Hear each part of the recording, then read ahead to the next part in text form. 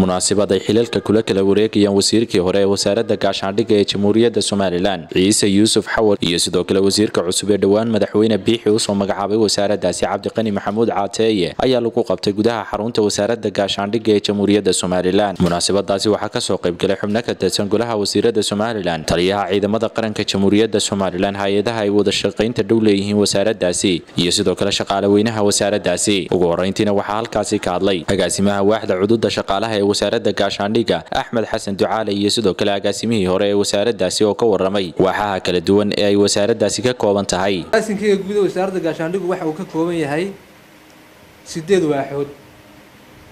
Sideedda waaxood oo kale ah waaxda maamulka iyo lacagta waaxda maamulka cududa shaqaalaha waaxda qorsheynta iyo siyaasadda waaxda naafada iyo agoomaha waaxda miinastaarka waaxda xidhiidhka iyo waaxda xidhiidhka iyo arrimaha ciidamada waaxda abaabulka saarka waaxda howlgabka iyo xaqsinta ciidamada oo waax cusub ah oo iminka la doonaya haddii ilahay badankeeda leeyahay in halkaa laga sii qaado oo higsigeeda sidoo kalena waxaa halkaasi ka hadlay gudoomiyaha maxkamadda ciidamada qaranka jamhuuriyadda somalilan saleebaan muuse xaashi. Mid ka mid a xildhibaanada golaha wakiilada somalilan madax ka socotay hay'adaha ay wada shaqaynta leeyihiin wasaaraddaasi. Sidoo kalena intii ay munaasabadaasi socotay waxaa hadalka iska daba qaatay wasiirada wasaaradaha horumarinta biyaha. Sidoo kale taliyaha ciidamada qaranka jamhuuriyadda somalilan. Oo dhan iyo ummaddu wixii aad qabateen anaaba dee markhaati ka ahayoo runtii wasaaradda waxaa lagu soo kordhiyey ilaa afar ama shan hay'adood oo madax bannaan gacan baan siinanaa waan la shaqaynaynaa sharciguna noo farayaa si walba inaan inaan ula shaqayno waxaan leehay wasiir.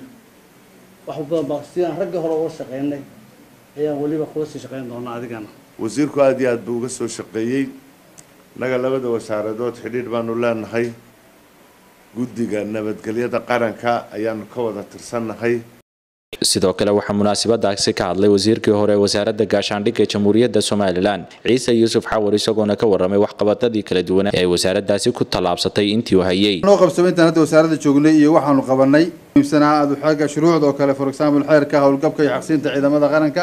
Aanu dhammaystiray iyana oo stage final stage jooga siyaasadda difaaca qaranka national defence policy oo final draft ah iyana u baahan in golaha wasiirada ugu dambeyntiina waxaa munaasabadaasi ka hadlay wasiirka cusub ee dhowaan madaxweyne biixi wasaaraddaasi u soo magacaabay cabdiqani maxamuud caateeye isagoona halkaasi ka sheegay waxyaabaha kala duwan ee wasaaraddaasi ku hagi doono. Ilaahay igu astur doonaa nin iyo dhani waxa weeyaan odayaasha waaweyn ee taliyaasha iyo iyo shaqaalahaba lehe waxa weeyaan tala wadaag bay noqonaynaa haddii la idhaahdo insha allah dee dalkan wada difaacaynaa difaacuna maa xadka waxa weeyaan noocyo badan buu leeyahay. Xariir maxamed koosaar star t v hargeysa